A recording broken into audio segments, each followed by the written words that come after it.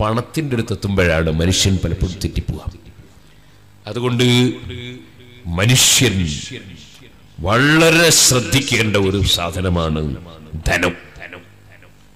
പണം. സല്ലല്ലാഹു അലൈഹി വസല്ലം പറഞ്ഞു ദുനിയാവ് ഒരു ശവമാണ്. അതിനെ തേടുന്നവൻ അവൻ കൽബുകളിൽപ്പെട്ടവനാണ്. സുബ്ഹാനല്ലാ എന്നാ സുഹൃത്തുക്കളെ ഹദീസിൽ തന്നെ പണത്തെയും ധനത്തെയും വളരെ ബഹുമാനിച്ച് പറഞ്ഞത് വേറുണ്ട്. ഇമാം ഇബിൻ ഹജർ അവിടുത്തെ ഷറഹുൽ ഹംസിയിൽ രണ്ട് ഹദീസുകളും എടുത്തു വെച്ചുകൊണ്ട് സംയോജിപ്പിച്ച് സംസാരിക്കാൻ. അതായത് ഖുർആാനും ഹദീസും നോക്കുമ്പോ ധനത്തെ വളരെ ഇകഴ്ത്തി പറയുന്ന ധാരാളം സ്ഥലങ്ങളുണ്ട് ധനത്തെ വളരെ നന്നാക്കി പറയുന്ന സ്ഥലങ്ങളുണ്ട്. അള്ളാഹു തആല ഖുർആനിൽ ഒരു സ്ഥലത്ത് ഇവിടെ അൽ ഖൈർ എന്ന് പറഞ്ഞത് ധനത്തെ കുറിച്ച് ആ ധനത്തിന് അള്ള പേര് വെച്ചതിന് ഖൈർ നല്ലത്. അപ്പൊ ധനത്തിനെ സംബന്ധിച്ച് അള്ള നല്ലത് എന്ന് പറഞ്ഞിട്ടുണ്ട്. ഇതുപോലെ അഷ്റഫുൽ ഖൽഖ് സല്ലല്ലാഹു അലൈഹി വസല്ലമ തങ്ങളുടെ അടുക്കൽ കുറച്ച് സാധുക്കളായ സഹാബികൾ വന്ന ഒരു ദിവസം. വന്നിട്ട് നബി സല്ലല്ലാഹു അലൈഹി വസല്ലം തങ്ങളോട് പറഞ്ഞു നബിയെ പണക്കാരൊക്കെ ധാരാളം സദഖ ചെയ്തിട്ട് സ്വർഗം വാങ്ങുക. വലിയ പ്രതിഫലം വാങ്ങുക. ഞങ്ങൾ കൊടുക്കാനൊന്നുമില്ല. അതുകൊണ്ട് ഞങ്ങൾ വലിയ സങ്കടത്തിലാ. അപ്പൊ നബി സല്ലല്ലാഹു നിങ്ങൾ അവരോട് പറഞ്ഞു നിങ്ങൾ നിസ്കാരത്തിന്റെ ശേഷം ഒരു മുപ്പത്തിമൂന്ന് സുബ്ഹാനല്ലാഹ് വെല്ലണം. മുപ്പത്തിമൂന്ന് അലഹമുല്ല വെല്ലണം. മുപ്പത്തിമൂന്ന് അള്ളാഹു അക്ബർ വെല്ലണം. പിന്നെ ലാ ഇലാഹ ഇല്ലല്ലാഹു വഹ്ദഹു ലാ ശരീക ലഹ്. ലഹുൽ മുൽക്കു വലഹുൽ ഹംദു വഹുവ അലാ കുല്ലി ഷൈഇൻ ഖദീർ. ഈ ദിക്രി ചൊല്ലണം അങ്ങനെ നൂറ് ദിക്രി ചൊല്ലണം. എന്നാ നിങ്ങൾക്ക് ആ വലിയ പൈസക്കാര് പണക്കാര് ധനം കൊടുത്തിട്ട് സമ്പാദിക്കുന്ന പ്രതിഫലം നിങ്ങൾക്ക് ഈ നൂറ് ദിക്രുണ്ടെന്ന് സമ്പാദിക്കാൻ കഴിയും. ഞാൻ എല്ലാവരോടും പറയാ എല്ലാവരും പതിവാക്കണം നൂറ് ദിക്ർ നിസ്കാരത്തിന്റെ ശേഷം അഞ്ചു നേരം പതിവാക്കിയാൽ അഞ്ഞൂറ് ദിക്റായി. അഞ്ഞൂറ് ദിക്റിന് അയ്യായിരം പ്രതിഫലം ചുരുങ്ങിയത് കിട്ടും. നമ്മുടെ അക്കൗണ്ടിൽ ഒരു ദിവസം അയ്യായിരം പ്രതിഫലം. അതിനാകെ വേണ്ടി രണ്ട് മിനിറ്റ്. രണ്ട് മിനിറ്റ് കൊണ്ട് ആയിരം പ്രതിഫലം നമുക്ക് കിട്ടും. വലിയ പണക്കാര് സ്വത്ത് ചെലവഴിച്ചിട്ട് ഉണ്ടാക്കുന്ന പണത്തിന്റെ പ്രതിഫലങ്ങളൊക്കെ വാരിക്കൂട്ടാൻ കഴിയും. സുബാനല്ലാ ഇത് പറഞ്ഞു കൊടുത്തപ്പോ ആ സാധുക്കളായ സഹാബികൾ ആ ദിക്കർ പോയിട്ട് നിസ്കാരത്തിന്റെ ശേഷം പതുക്കെ ഇങ്ങനെ ചൊല്ലാൻ തുടങ്ങി. ഇസ്ലാമിൽ വിവേചനമൊന്നും ഇല്ലല്ലോ ഇസ്ലാമിൽ പണക്കാര് വേറെ സാധുക്കൾ വേറെ അങ്ങനെ ഉണ്ടോ നിസ്കരിക്കാൻ നിൽക്കുമ്പോ എല്ലാരും ഒരുപോലെ. ഒന്നാമത്തെ സഫിൽ പൊന്നച്ചവടക്കാര് രണ്ടാമത്തെ സഫിൽ വെള്ളിക്കച്ചവടക്കാര് മൂന്നാമത്തെ സഫിൽ തുണിക്കച്ചവടക്കാര് നാലാമത്തെ സഫിൽ പച്ചക്കറി കച്ചവടക്കാര് ഇങ്ങനെയുണ്ടോ ഇസ്ലാമിൽ ഇസ്ലാമിൽ ഏത് രാജാവും ഏത് പണക്കാരനും ഏത് പാവപ്പെട്ടവനും എല്ലാവരും തോളോട് തോളുരുമി. ഒന്നായിട്ട് ഒരേ ഒരു യജമാനൻ ഒരേ ഒരു രാജാവ് എല്ലാവരെയും പടച്ചവൻ എല്ലാവർക്കും വെള്ളം കൊടുക്കുന്നവൻ എല്ലാവർക്കും ഭക്ഷണം കൊടുക്കുന്നവൻ എല്ലാവർക്കും കാഴ്ച നൽകുന്നവൻ കേൾവി നൽകുന്നവൻ ആരോഗ്യം നൽകുന്നവൻ എല്ലാം നൽകുന്ന രാജാവിന്റെ മുമ്പിൽ പണമുള്ളവനും പണമില്ലാത്തവനും വിവരമുള്ളവനും വിവരമില്ലാത്തവനും അധികാരമുള്ളവരും അധികാരമില്ലാത്തവരും ഏത് പാവപ്പെട്ടവരും ആരോഗ്യമുള്ളവനും ആരോഗ്യമില്ലാത്തവരും റബ്ബിന്റെ മുമ്പിൽ എല്ലാവരും അടിമകളല്ലേ? ഒരേപോലെ സഫിൽ അണിനിരന്ന് നിൽക്കുകയല്ലേ? അപ്പൊ ഒന്നിച്ച് നിസ്കരിക്കുമ്പോ പണക്കാരും സാധുക്കളിൽ ഒന്നായിട്ട് നിസ്കാരം. ഇസ്ലാമിൽ വിവേചനമൊന്നുമില്ല. അപ്പൊ നിസ്കാരം കഴിഞ്ഞിട്ട് സാധുക്കൾ ഇങ്ങനെ ദിക്റിയില്ല അവ തൊട്ടടുത്ത പണക്കാരത് കേൾക്കുകയാണ്. അപ്പൊ അവരത് ഇങ്ങനെ ശ്രദ്ധിച്ചിങ്ങ് പാടാക്കി മൽപ്പാടാക്കി നമുക്ക് എന്താ ചൊല്ലിക്കൂടെ ഇത്? മുത്തലിമികൾ ശ്രദ്ധിക്കണം. ആ പണക്കാരായ സഹാബികളും സാധുക്കൾ ചൊല്ലുന്നത് കേട്ടിട്ട് ചൊല്ലാൻ തുടങ്ങി. അതിൽ നമുക്കൊരു കാര്യം മനസ്സിലായി. നല്ല മനുഷ്യന്മാരൊന്ന് ചൊല്ലുന്നത് കേട്ടാൽ നമുക്കും ചൊല്ലാന്നായി അത് പ്രത്യേകം അള്ളാഹ് റസൂലും ചൊല്ലണമെന്ന് പറയേണ്ട ആവശ്യമൊന്നുമില്ല. സുന്നികളും സുന്നികളല്ലാത്തവരും തമ്മിലൊരു വ്യത്യാസമാണ്. സുന്നികൾക്ക് ആ മൊഹീദ്ദീൻ ശേഖർ അള്ളാഹുവിനെ ചൊല്ലിയിട്ടുണ്ട്. എന്ത് ചൊല്ലിയിട്ടുണ്ട്?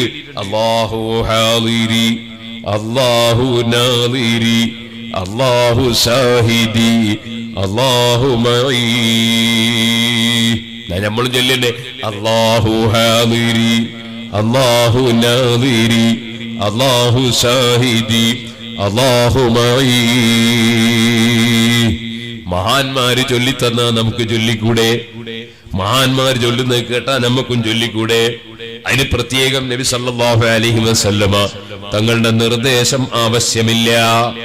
പണക്കാരായ സഹാബികളോട് നിസ്കാരത്തിന്റെ ശേഷം മുപ്പത്തിമൂന്ന് സുബഹാനന്ദ എല്ലാം പറഞ്ഞിട്ടില്ല. മുപ്പത്തിമൂന്ന് അൽഹംദുലില്ല പറയാൻ പറഞ്ഞിട്ടില്ല. മുപ്പത്തിമൂന്ന് അള്ളാഹു അക്ബർ എല്ലാം പറഞ്ഞിട്ടില്ല. നൂറ് ദിക്കറ് പൂർത്തീകരിക്കാൻ പറഞ്ഞിട്ടില്ല. പക്ഷേ സാധുക്കളായ സഹാബികൾ ചൊല്ലുന്നത് കേട്ടപ്പോ ആ സഹാബികൾ മഹാന്മാരാണല്ലോ. മഹാന്മാര് ചൊല്ലുന്നത് കേട്ടാൽ നമുക്കും ചൊല്ലിക്കൂടെ? എന്ന നിലയ്ക്ക് പണക്കാരായ സഹാബികൾ അത് കേട്ട് പഠിച്ചുകൊണ്ട് ചൊല്ലാൻ തുടങ്ങി. അപ്പോൾ ഈ സാധുക്കളായ സഹാബികൾ വീണ്ടും നബി സല്ലല്ലാഹു അലൈഹി വസല്ലമ തങ്ങളെ സമീപിച്ചുകൊണ്ട് പറഞ്ഞു നബിയെ അവർ ഞങ്ങൾ ചൊല്ലുന്നത് കേട്ട് പഠിച്ചിട്ട് അവരും തങ്ങൾ പറഞ്ഞു തന്ന ദിക്ർ ചൊല്ലുകയാണ്. ഇപ്പൊ അവർക്ക് സ്വത്തുക്കൾ ദീനിന് വേണ്ടി കൊടുത്ത സാധുക്കൾക്ക് കൊടുത്ത പ്രതിഫലമുണ്ട്. അതിന്റെ പുറമെ ഞങ്ങൾ ചൊല്ലുന്ന ദിക്റ് ചൊല്ലിയ പ്രതിഫലവുമുണ്ട്. അവരിപ്പോഴും ഞങ്ങളെക്കാൾ മുന്നിൽ തന്നെയാണ്. അപ്പൊ അള്ളാഹുവിന്റെ റസൂൽ പറഞ്ഞ മറുപടി എന്താണ്? ലാലിക ഫളുല്ലാഹി യുതീഹി മയ്യശാ അത് അല്ല കൊടുക്കുന്ന ബഹുമാനമാണ്. അല്ല കൊടുക്കുന്ന ഔദാര്യമാണ്. അവർക്ക് സ്വത്ത് ചെലവഴിച്ചുകൊണ്ട് ആഹ്റത്തിലേക്ക് സമ്പാദിക്കാനുള്ള കഴിവ് അല്ല കൊടുക്കുകയാണ്. പിന്നെ പകരം നിക്കറൊന്നും പറഞ്ഞു കൊടുത്തില്ല. കാരണം അതും മറ്റവര് കേട്ട് പഠിക്കൂലേ. അത് പിന്നെ പറഞ്ഞു കൊടുത്താൽ തീരലുണ്ടാവില്ല അപ്പൊ നമ്മൾ ഇവിടെ എന്ത് മനസ്സിലാക്കി? ധനത്തെ സംബന്ധിച്ച് അള്ളാഹുവിന്റെ റസൂൽ ഫതുലുല്ലാഹി അല്ല കൊടുക്കുന്ന ഔദാര്യമാണ് അല്ല കൊടുക്കുന്ന ബഹുമാനമാണ് എന്ന് പറഞ്ഞു. അതേ നബി സല്ലല്ലാഹു അലൈഹി വസല്ലം തങ്ങൾ തന്നെയാണ് പണത്തെ ധനത്തെ വളരെ ആക്ഷേപിച്ചു സംസാരിച്ചു. അപ്പൊ ഈ രണ്ട് ഹദീസുകൾ തമ്മിൽ എങ്ങനെയാ യോജിപ്പിക്കുക ഇമാം ഇബ്നു ഹജറുൽ ഹൈതമി അൻഹു അവിടുത്തെ ഹംസിയുടെ സറഹിൽ പറഞ്ഞു ആ രണ്ടും രണ്ട് അർത്ഥത്തിലാണ്. ധനം എന്ന് പറയുന്നത് പണം എന്ന് പറയുന്നത്. അത് ചിലർക്ക് നല്ലതാണ് ചിലർക്ക് മോശമാണ്. ആർക്കാ നന്നാകുന്നത് ആർക്കാ മോശമാകുന്നത്? ധനം സമ്പാദിക്കുന്നത് ഹലാലായ മാർഗത്തിലൂടെയാവുകയും ആ ധനം കൊണ്ട് ആഹ്റം സമ്പാദിക്കുകയും പാരത്രീക ലോകം നേടുകയും ചെയ്യുന്നവന് ധനം വലിയ അനുഗ്രഹമാണ്.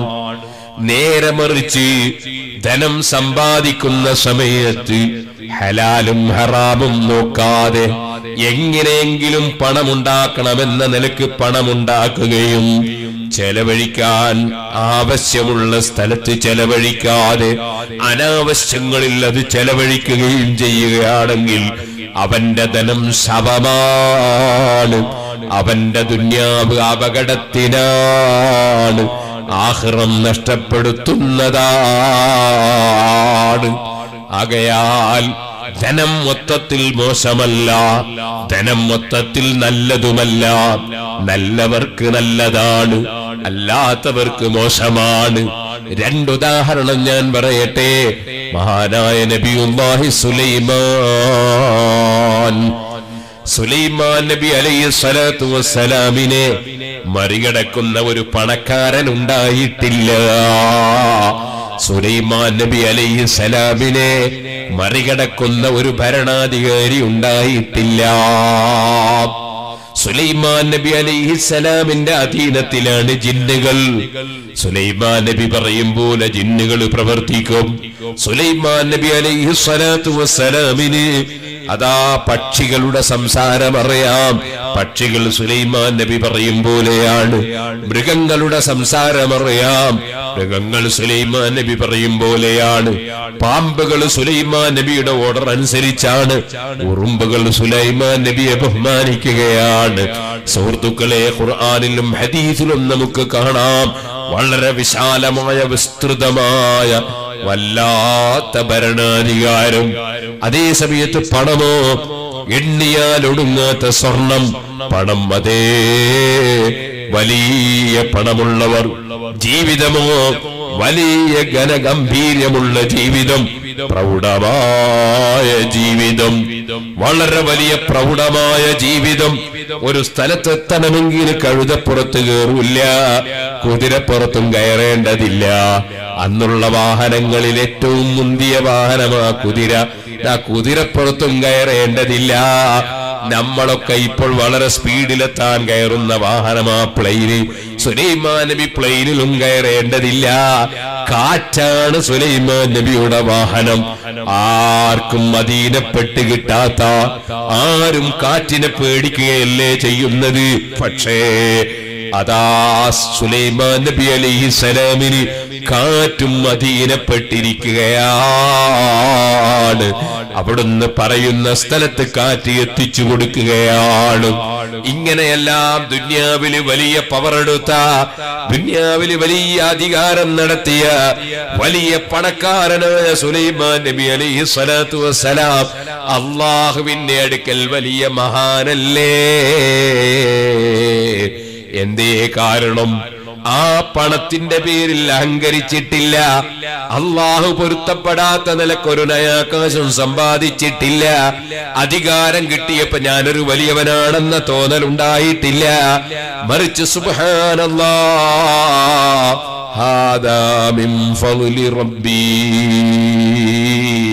ഇതൊന്നും എന്റേതല്ല ഇതെല്ലാം എന്റെ റബ്ബ് എനിക്ക് ഔദാര്യമായി തന്നതാണ്. എന്റെ രാജാവിന്റെ സമ്മാനമാണ്. എന്റേതല്ല.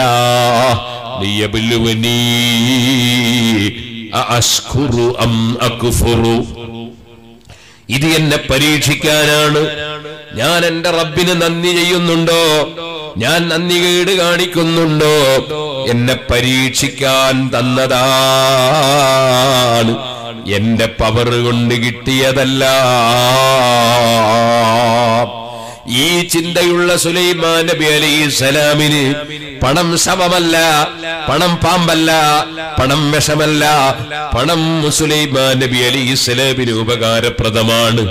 അതുകൊണ്ടല്ലേ സുഹൃത്തുക്കളെ അവിടുന്ന് ഒരു ദിവസം അങ്ങ് പറഞ്ഞു എനിക്ക് നൂറ് ഭാര്യമാരുണ്ടെങ്കിൽ തൊണ്ണൂറ്റൊമ്പത് ഭാര്യമാരുണ്ട്. ഞാൻ ഒരൊറ്റ ദിവസം എല്ലാ ഭാര്യമാരെയും സമീപിക്കും. എല്ലാ ഭാര്യമാരും കുതിരപ്പടയാളികളെ പ്രസവിക്കും. അങ്ങനെ അവരൊക്കെ ദീനിന്റെ പ്രവർത്തന രംഗത്ത് സജീവമായി മുന്നേറും. സുബാനല്ലാ എനിക്ക് കുറെ മക്കളുണ്ട് ഏഴ് മക്കളുണ്ട്. അഞ്ച് മക്കളുണ്ടായപ്പോ അഞ്ചും ആൺമക്കളായിരുന്നു. ഞാൻ താജുല്ലമയോട് പറഞ്ഞു സുൽത്താനുല്ലമയോട് പറഞ്ഞൊരു പെൺകുട്ടിയെ കിട്ടിയാൽ തിരക്കേടില്ല. ആ മഹാന്മാരെ പ്രാർത്ഥന മുഖേന എനിക്ക് പിന്നെ പെൺകുട്ടി ജനിച്ചു. രണ്ട് പെൺകുട്ടികളുണ്ട്. എന്റെ അഞ്ച് ആൺമക്കളും ഞാനൊരു എസ് എസ് എഫിന്റെ പ്രവർത്തകനായി വളർന്നവനാണ്. എസ് എസ് എഫിലൂടെ സുന്നത്ത് ജമാഅത്തിന്റെ രംഗത്ത് വന്നവനാണ്. എന്റെ മക്കൾ സജീവമായി എസ് എസ് എഫിന്റെ പ്രവർത്തനം നടത്തുമ്പോ എന്റെ സന്തോഷം പറയണ്ടല്ലോ. സുലൈമാൻ നബി അലൈഹി സ്വലാത്തു വസ്സലാമിന് അള്ളാഹുവിന്റെ ദീനിന് വേണ്ടി ധീരമായി പ്രവർത്തിക്കുന്ന മക്കൾ വേണമെന്ന ആഗ്രഹമാണ്. ആ ആഗ്രഹത്തിന്റെ പേരിൽ സുലൈമാൻ നബി ഒരു ദിവസം അങ്ങ് പറഞ്ഞതാണ്. ഞാൻ ഇന്ന് നൂറ് ഭാര്യമാരെ രാത്രി സമീപിക്കും. നൂറ് ഭാര്യമാരും കുതിരപ്പടയാളികളായ നല്ല പ്രവർത്തകരായ മക്കളെ പ്രസവിക്കും. പക്ഷേ അന്ന് ഇൻസാ അല്ല പറയാൻ വിട്ടുപോയി. ആവേശം കൊണ്ട് പറഞ്ഞതാണ് സന്തോഷത്തോടെ പറഞ്ഞതാണ്. ദീനീ പ്രവർത്തന രംഗത്ത് മുന്നേറുന്ന മക്കൾ വേണമെന്ന നിലയ്ക്ക് പറഞ്ഞതാണ്. പക്ഷേ അല്ല പറയാൻ വിട്ടുപോയി. ഭാര്യമാരെ മുഴുവനും സമീപിച്ചുവെങ്കിലും ഒരൊറ്റ ഭാര്യയും പ്രസവിച്ചില്ല. ഒരു പെണ്ണ് മാത്രം പ്രസവിച്ചു പക്ഷേ അതൊരു ചാടക്കുട്ടിയാണ്. പ്രവർത്തിക്കാൻ പറ്റുന്ന കുട്ടിയല്ല. ഒരു വാക്ക് പറയുമ്പോൾ അള്ളാഹു ഉദ്ദേശിച്ചാൽ എന്ന വാക്ക് വിട്ടുപോയതിനാൽ റബ്ബ് മക്കളെ കൊടുത്തില്ല. സുഹൃത്തുക്കളെ മനസ്സല്ലാഹുവിലേക്ക് തിരിച്ചുകൊണ്ടും ഏത് സമയത്തും അള്ളാനെ ഓർത്തുകൊണ്ടും അങ്ങനെ തന്നെയാണ് മനുഷ്യൻ ഏത് അനുഗ്രഹങ്ങളെയും സ്വീകരിക്കേണ്ടത് ഏത് അനുഗ്രഹങ്ങളെയും ചോദിക്കേണ്ടത്. മനസ്സ് റബ്ബിലേക്ക് തിരിച്ചുകൊണ്ടാകണം. തരുന്നവനൊന്നേ ഉള്ളൂ തടയുന്നവനൊന്നേ ഉള്ളൂ അധികാരമുള്ളവനൊന്നേ ഉള്ളൂ. അവനാണ് അല്ലാ അതുകൊണ്ട് തന്നെ ധനം സമ്പാദിക്കുന്ന സമയത്ത് ശ്രദ്ധിക്കണം. വട്ടി വാങ്ങിയിട്ട് നമുക്ക് കേസ് വേണ്ട. വേറെ ഒരാളെ കച്ചവടം പിടിച്ചെടുത്തിട്ട് വേണ്ട. വേറെ ഒരാൾ പൊരുത്തപ്പെടാത്ത ഒരിഞ്ചി ഭൂമി വേണ്ട. അഥവാ മറ്റൊരാളുടെ ഒരു ഇഞ്ചി ഭൂമി നമ്മൾ കൈവശപ്പെടുത്തിയാൽ ഹബീബായ നബിതങ്ങൾ പറഞ്ഞില്ലേ ഏഴാമത്തെ ഭൂമി വരെ തയ്യാമെന്നാളിൽ അവന്റെ കഴുത്തിൽ അണിയിക്കപ്പെട്ട് അവൻ അതുകൊണ്ട് കുടുങ്ങിപ്പോകുന്നു. മറ്റൊരാളെ ഭൂമിയിൽ നിന്നൊരംശം പോലും നമ്മുടെ ജീവിതത്തിൽ ഹലാലല്ലാത്തത് പാടില്ല. ഓ സുഹൃത്തുക്കളെ അഷ്റഫുൽ ഖൽഖ് തങ്ങൾ പറഞ്ഞില്ലേ ആദം. മനുഷ്യന്റെ കാൽ നീക്കി വെക്കാൻ കഴിയില്ല. പടച്ച റബ്ബിന്റെ കോടതിയിൽ അഞ്ച് കാര്യങ്ങളെ കുറിച്ച് ചോദ്യമുണ്ട്. ആ അഞ്ചിനും മറുപടി പറയണം. അതിലൊന്നാണ് ആയുസ് കാലം എന്തിനു വേണ്ടി ചെലവഴിച്ചു?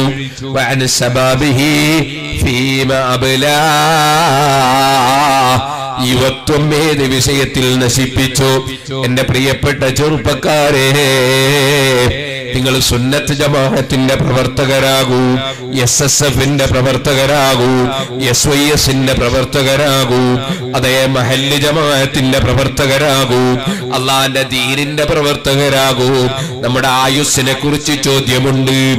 നമ്മൾ തീവ്രവാദികളാകരുത്. ഭീകരവാദികളാകരുത്. ആലിമീങ്ങളെ ചീത്ത പറയുന്ന കമ്പനിയിൽ പെട്ടുപോകരുത്. സയ്യിദന്മാരെ നിന്ദിക്കുന്നവരിൽ പെട്ടുപോകരുത്. ഉഹ്റവിയായ പണ്ഡിതന്മാരെ ഗീബത്ത് കൊണ്ട് സദസ്സുകളും സ്റ്റേജുകളും നിറക്കുന്നവരിൽ പെട്ടുപോകരുത്. നമ്മുടെ കൽബ് അള്ളാഹുവിലേക്ക് തിരിക്കണം. അവൻ പൊരുത്തപ്പെട്ടത് മാത്രം സംസാരിക്കണം. അവൻ പൊരുത്തപ്പെട്ടതിൽ മാത്രം സമയം ചെലവഴിക്കണം. നമ്മുടെ ആയുസ്സിനെ കുറിച്ച് പ്രത്യേകം ചോദ്യമുണ്ട്.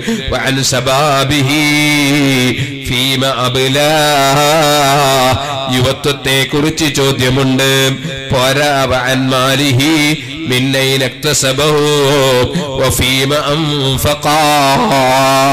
നിന്റെ സമ്പത്തിനെ കുറിച്ച് ചോദ്യമുണ്ട്. നീ എങ്ങനെ സമ്പാദിച്ചു? നീ ഹലാലായ വഴിയിലാണോ സമ്പാദിച്ചത്? ഒന്നിച്ച് ബിസിനസ് നടത്തുകയാണ്. വിദേശത്ത് ബിസിനസ്സാണ് ബിസിനസ് നടന്നുകൊണ്ടിരിക്കുമ്പോ ഒരു കൂറുകാരൻ നാട്ടിലേക്ക് വന്നതാണ്. ആറുമാസം കഴിഞ്ഞ് വിദേശത്ത് ചെന്ന് നോക്കുമ്പോ കച്ചവടം പോയി പോയി. ഇങ്ങനെ പോയി പോയി. കൂട്ടുകാരൻ കഫീലിനെ സ്വാധീനിച്ചു. എന്നിട്ട് കഫീലിന് കുറച്ച് കൂടുതൽ പൈസ കൊടുക്കാറുണ്ട്. എന്നിട്ട് അത് അവന്റേതാക്കി മാറ്റി. നേരത്തെ ഷെയർ ഉള്ളവന്റെ ഷെയർ ഇല്ലാതെയാക്കി. ഇല്ല ഇല്ല. എനിക്ക് ധാരാളം കിട്ടിയെന്നാവും വിചാരിക്കുന്നു. അവനെ പോലെ പരാജയപ്പെട്ടവൻ വേറെ ആരാ? അവനെ പോലെ പരാജയപ്പെട്ടവൻ വേറെ ആരാ?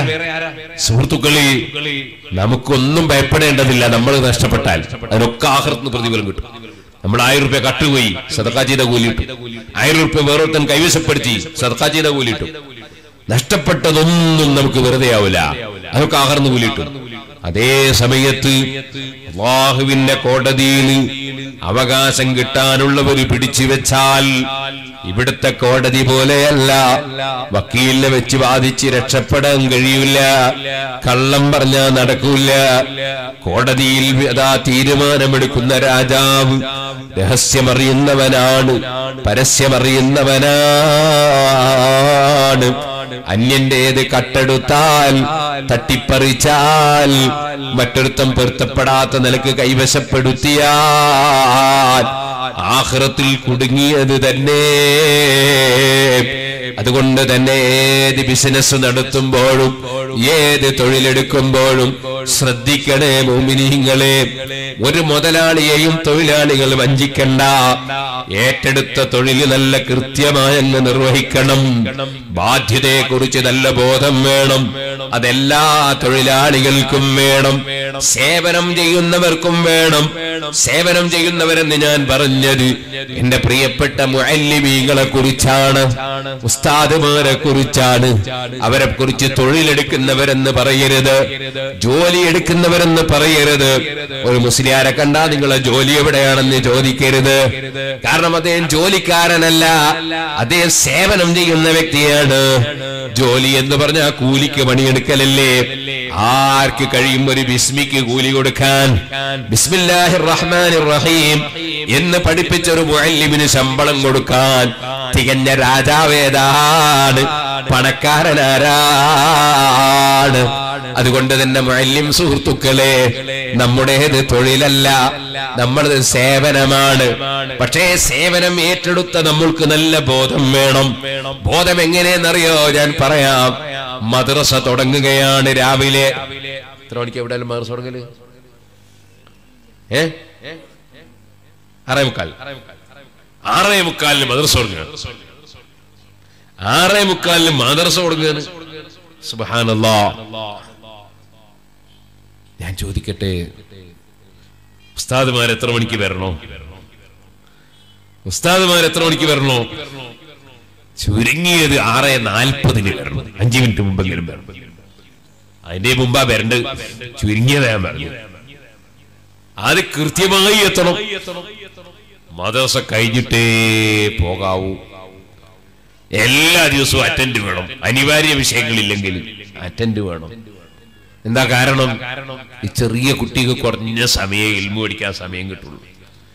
ആ കുട്ടികളെ ഇൽമു പഠിപ്പിക്കും ഇദ്ദേഹം എന്ന നിലക്കാണ് ഒരു കമ്മിറ്റിക്കാരൻ വെല്ലുവിളി ചെയ്യുന്നത്. പിന്നെ അയാൾ വരാൻ വയ്യാലോ? അയാൾക്ക് ശമ്പളം ഹലാലാവോ? അയാളെ പണം അയാൾക്ക് ഹലാലാവോ? കുട്ടികളെ ശരിക്കും പഠിപ്പിച്ചില്ലെങ്കിൽ ഹലാലാവോ? കാരണം ഈ ശമ്പളം പറ്റുന്നത് ഈ സേവനത്തിന്റെ വകയാണ്. അതുകൊണ്ട് തന്നെ നമുക്ക് നമ്മുടെ ശമ്പളം ഹലാലാകണം. അതിന് കുട്ടികളെ പഠിപ്പിക്കുന്നതിന് കൃത്യമായി ഉസ്താദുമാര് ഹാജർ വേണം. എന്ന് മാത്രമല്ല പഠിപ്പിക്കുന്ന കിതാബുകൾ ആദ്യം നോക്കി വെക്കണം. കുട്ടികളെ മുമ്പെന്ന് നോക്കൽ തുടങ്ങരുത്. ആദ്യം ശരിക്ക് നോക്കി വെക്കണം. കിട്ടാത്തതുണ്ടെങ്കിൽ കൂടുതൽ വിവരമുള്ള ഉസ്താദിനോട് ചോദിച്ച് മനസ്സിലാക്കണം. കുട്ടികളെ മുമ്പെന്ന് സമയം പോക്കരുത് അതിന് മുമ്പ് തന്നെ നോക്കി വെക്കണം. അതുപോലെ നോട്ട്സുകൾ വേണമെങ്കിൽ എഴുതിയെടുക്കണം. കുട്ടികളുടെ സമയം നഷ്ടപ്പെടുത്തരുത്. കുട്ടി പഠിച്ചില്ലെങ്കിൽ നമുക്ക് ഉത്തരവാദിത്വമുണ്ട്. നമ്മുടെ മദ്രസയിൽ ചേർത്തത് നമുക്ക് ശമ്പളം ജനങ്ങൾ തരുന്നത് കമ്മറ്റി തരുന്നത് നമുക്ക് ഹലാലാകണ്ടേ. ഗൗരവത്തോടെ ചിന്തിക്കണേ മുഴല്യം സുഹൃത്തുക്കളെ. ഞാനിത് പറയുമ്പോ എന്നോടാർക്കും പ്രയാസം വേണ്ട. എനിക്ക് ഇവിടെ വന്ന കാറിന്റെ വാടക വാങ്ങൽ എനിക്ക് ഹലാലാകണം. എനിക്കത് ഹലാലാകണമെങ്കിൽ എനിക്കറിയുന്നത് പറയേണ്ട സ്ഥലത്ത് പറയണം. ഇല്ലെങ്കിൽ എനിക്കും ഹലാലാകൂല. ഒരു നയാകാശ് സമ്പാദിക്കുമ്പോ അത് ഹലാലായ വഴിയിലാകണം. ഇല്ലെങ്കിലോ നമുക്കത് പറ്റൂല കേട്ടോ. എങ്ങനെയാണ് പണമുണ്ടാക്കിയതെന്ന് ചോദ്യമുണ്ട്. അന്മാലിഹി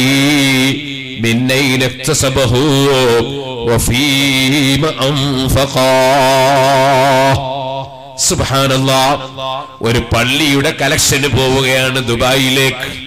അതേ എഴുപത്തഞ്ച് ലക്ഷത്തിന്റെ പള്ളിയാണ്.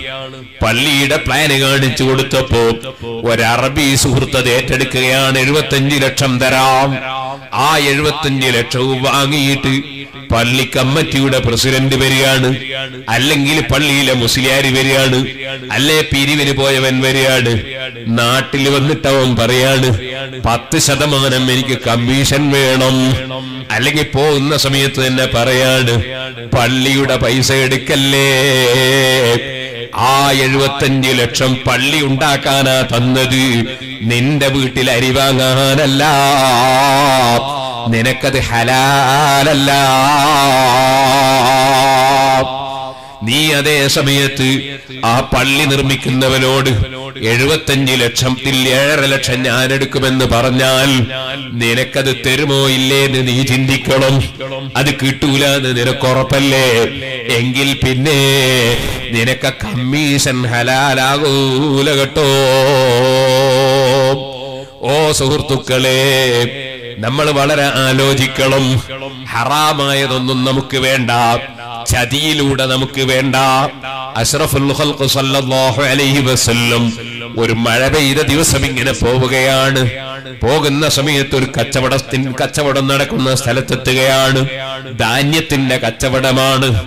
ആ ധാന്യം ഇങ്ങനെ വിൽക്കാൻ വെച്ചിരിക്കുകയാണ്. നബിതങ്ങൾ ആ ധാന്യത്തിന്റെ ഉള്ളിലേക്ക് കൈയങ്ങോട്ട് കടത്തിയിട്ട് കുറച്ച് ധാന്യം ഗോതമ്പോ അരിയോ എന്തെങ്കിലും ആകട്ടെ ആ ധാന്യം വാരി ഇങ്ങെടുക്കുകയാണ് കയ്യിലെടുത്തു നോക്കുമ്പോൾ നനഞ്ഞിരിക്കുകയാണ്. എന്തേ നനഞ്ഞത് വിൽക്കുന്നത് എന്ന് ചോദിക്കുകയാണ്. അദ്ദേഹം പറഞ്ഞു മഴ പെയ്തപ്പം നനഞ്ഞു പോയി നബിയെ ചോദിക്കുന്നു നനഞ്ഞത് നിനക്ക് മേലെ ഇട്ടുകൂടായിരുന്നു?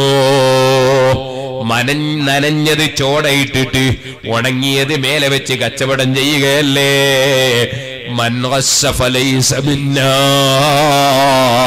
ചതിക്കുന്നവൻ നമ്മളിൽ പെട്ടവനല്ല സുബാനല്ലാ ആപ്പിളിന്റെ കച്ചവടമാണ്. പേരക്കയുമുണ്ട്.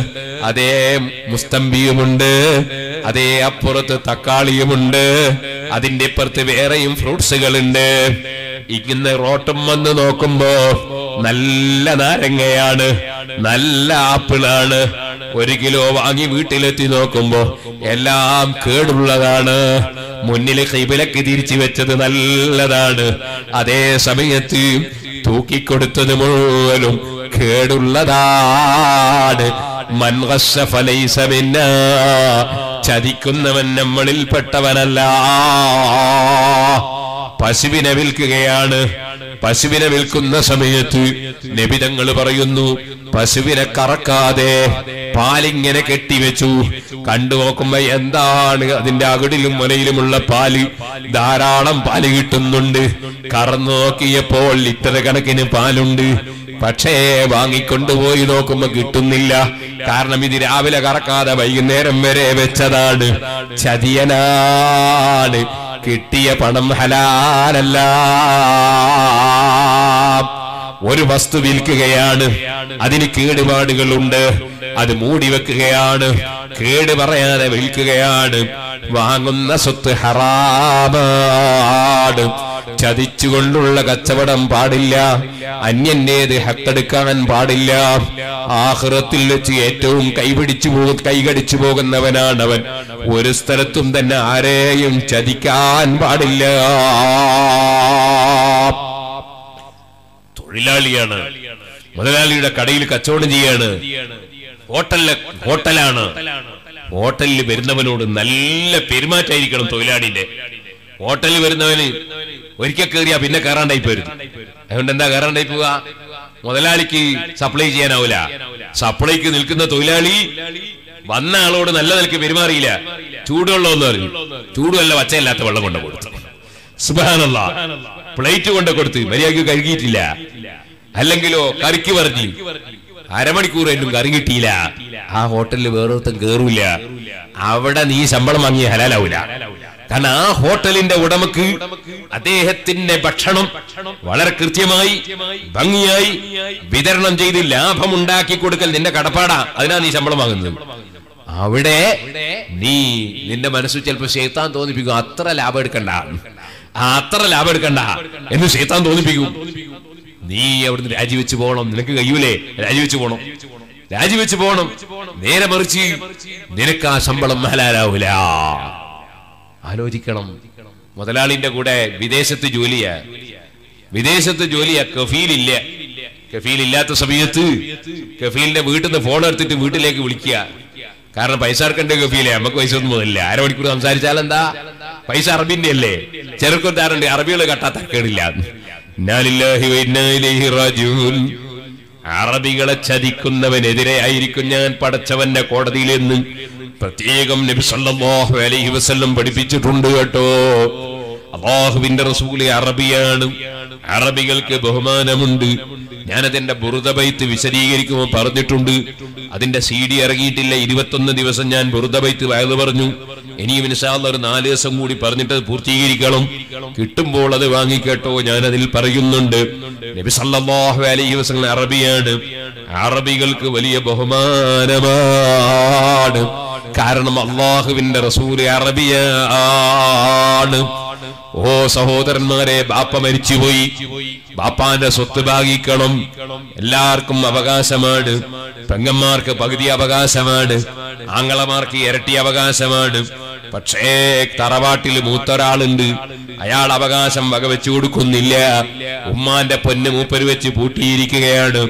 ബാപ്പാന്റെ സ്വത്ത് ഭാഗിച്ചു കൊടുക്കുന്നില്ല. പാവപ്പെട്ട പെങ്ങൾ വന്നിട്ട് അതേ നമുക്ക് നമ്മളെ സ്വത്തൊന്ന് ഭാഗിക്കണ്ടേ എന്ന് പറയുമ്പോ അവളെ കൊള്ള കത്തിക്കയറുകയാണ് കത്തിക്കയറുകയാണ് നീ ആരാ ചോദ്യം ചെയ്യാണ്? നീ കോടതി പോയിക്കോ? തരാൻ മനസ്സില്ല എന്നൊക്കെ പറയുന്നതിലെ വമ്പന്മാരില്ലേ? അള്ളാഹുവിന്റെ കോടതിയിൽ നീയും കുടുങ്ങി പോകും കേട്ടോ. നിന്റെ ബാപ്പ മരിക്കുന്നതോടെ നിന്റെ ഉമ്മ മരിക്കുന്നതോടെ സ്വത്തിന്റെ അവകാശം അവകാശികൾക്ക് തുല്യമായി അവർക്ക് റബ്ബ് നിശ്ചയിച്ചതുപോലെ അതിന് അവകാശം വന്നുപോയി കേട്ടോ. അതുകൊണ്ട് തന്നെ പെങ്ങളെ അവകാശം നീ കൈവശപ്പെടുത്തണ്ട അനുജന്റെ അവകാശം കൈവശപ്പെടുത്തണ്ട ജേട്ടന്റെ അവകാശം കൈവശപ്പെടുത്തണ്ട. അവകാശികൾക്ക് അവകാശം കൊടുത്തേക്കണം. അല്ലെങ്കിൽ അവരെ കൊണ്ട് പൊരുത്തപ്പെടിച്ചേക്കണം ഞാൻ ചോദിക്കട്ടെ ഒരു ബാപ്പയുടെയും ഉമ്മയുടെയും മക്കളും ഏകദേശം തെറ്റലപ്പഴ. പണക്കാരായ ബാപ്പയുടെയും ഉമ്മയുടെയും മക്കൾ തെറ്റിപ്പോകൽ ബാപ്പയും ഉമ്മയും മരിച്ചിട്ട് സ്വത്ത് ഭാഗിക്കുമ്പോഴല്ലേ? ചോദിക്കട്ടെ ഈ താഴ്ന്ന ശവം അതാ റസൂൽ പറഞ്ഞത്. കുടുംബത്തിനിടയിലുള്ള സ്നേഹബന്ധം പാലിക്കാതെ കുടുംബബന്ധം മുറിക്കുന്നതിന് മടി തോന്നുന്നില്ല. ജ്യേഷ്ഠനെയും കുറ്റം പറഞ്ഞ് അനുജനെയും കുറ്റം പറഞ്ഞ് പെങ്ങളെയും കുറ്റം പറഞ്ഞ് ചിലപ്പോ ഉമ്മാനത്തന്നെയും കുറ്റം പറഞ്ഞ് പണത്തിന്റെ പേരിൽ പരസ്പരം തെറ്റുന്നവരില്ലേ? ഈ ശവത്തിന് വേണ്ടി കടികൂടുന്നവരില്ലേ? മഹാനായ ഇമാം ഷാഫി അൻഹു അതാണ് പറഞ്ഞത്. അതേ നീ ആ പണമെന്ന് പറയുന്നത് അതൊരു ശവത്തിന്റെ സ്ഥാനത്താണ്. ഇൻ كنت سلما لأهلها ലിയഹ്ലിഹാ വഇൻ بها നാസഅതക كلابها നീ പണത്തോട് അത്യാർത്ഥിയുള്ളവനായിട്ട് ഹലാലും ഹറാബും നോക്കാതെ പണം പിടിച്ചു വലിക്കാൻ പോയാൽ ആ ശവം കൊണ്ട് ഏൽപ്പിക്കപ്പെട്ട കുറെ നായകളുണ്ട്. നിന്നോട് അവർ കടിപിടികൂടും കേട്ടോ. നേരെ മറിച്ച് നീ ദുന്യാവിന് വില കൽപ്പിക്കാതെ ജേട്ടനും അനുജനും പെങ്ങളും ബാപ്പാന്റെ സ്വത്ത് ഭാഗിക്കുമ്പോ ഒരു തെങ്ങ് ജേട്ടന് കൂടുതലാണെങ്കിൽ കിടക്കട്ടെ അത് എന്റെ ജേട്ടനല്ലേ? ഒരു തെങ്ങ് അനുജന് കൂടുതലാണെങ്കിൽ കിടക്കട്ടെ അത് എന്റെ അനുജനല്ലേ? അല്ല ഒരു അഞ്ച് സെന്റ് ഭൂമി എന്റെ പെങ്ങൾക്ക് കൂടുതലാണെങ്കിൽ കിടക്കട്ടെ അതെന്റെ പെങ്ങളല്ലേ? ഇങ്ങനെ വിശാലമായ മനസ്സോടുകൂടിയാണ് നിങ്ങൾ സ്വത്ത് ഭാഗിക്കാൻ നിൽക്കുന്നതെങ്കിൽ ആ ബാപ്പ ഉമ്മക്ക് കബറിൽ സന്തോഷത്തിൽ കിടന്നുകൂടെ? അവരെ കബറിൽ അവർക്ക് സന്തോഷത്തോടെ കിടന്നുകൂടെ? നേരെ മറിച്ച് അവരധ്വാനിച്ചുണ്ടാക്കിയ സ്വത്ത് ഭാഗിക്കുന്ന സമയത്ത് ഉണ്ടാകുന്ന തർക്കത്തിന്റെ പേരിൽ സമാധാനമില്ലാതെ കബറിൽ കിടക്കുന്ന മാതാപിതാക്കളില്ലേ? അവർ സമ്പാദിച്ചു വെച്ചത് വിനയായല്ലോ കഷ്ടമായല്ലോ ഈ ദുന്യാവിനെ അമിതമായി സ്നേഹിച്ചപ്പോ ഉണ്ടായതല്ലേ? അതുകൊണ്ട് ആ ഹബീബ് നബിതങ്ങൾ പറഞ്ഞത് റജുലൻ സംഹൻ. വിശാല മനസ്ഥിതിയുള്ള മനുഷ്യന് അള്ളാഹു റഹ്മത്ത് ചെയ്യട്ടെ. അതെ റഹിമല്ലാഹു റജുലൻ സംഹൻ.